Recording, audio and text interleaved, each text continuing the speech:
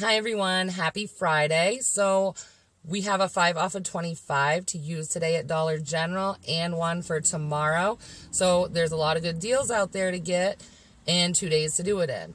So I went today after work and I know a lot of people are doing toilet paper deals, but at the same time, a lot of stores are sold out of the toilet paper. So I wanted to do a deal for you guys that didn't have toilet paper in it.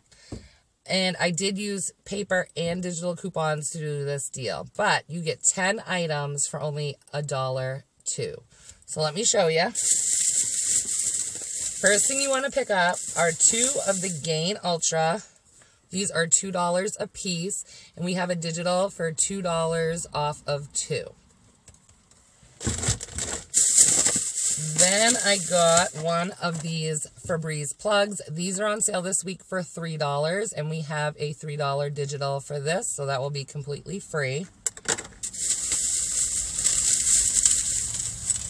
Let's see. All right, so I got the Febreze Gain Scent. This one is the Moonlight Breeze. And then I also got the Island Fresh with the Gain Scent. Make sure they're Gain scented.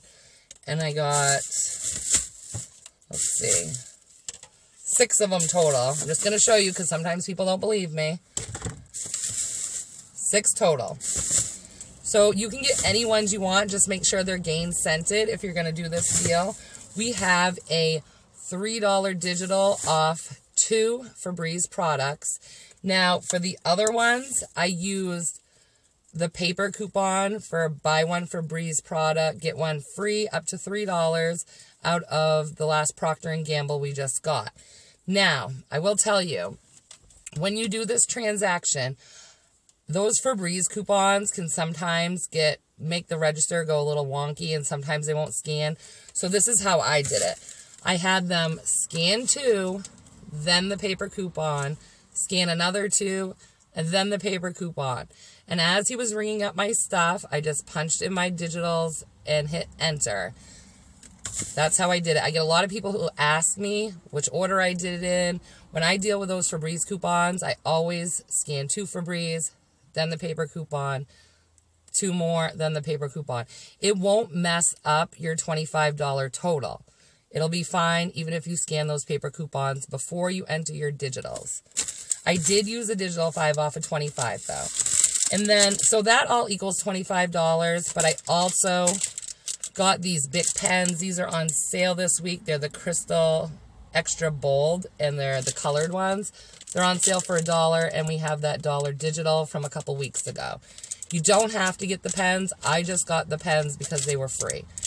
So that'll bring your total to $26. Now I use the 5 off of 25, and I also use the 5 off of 20 gain coupon that we got a few weeks ago, the digital one. Now, the 2 off of 12 Febreze does not come off. For some reason, that doesn't ever stack when you use the 5 off of 20 gain.